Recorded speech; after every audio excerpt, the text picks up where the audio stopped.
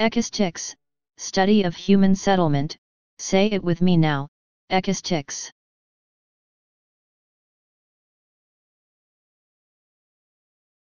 Please subscribe and thanks for watching.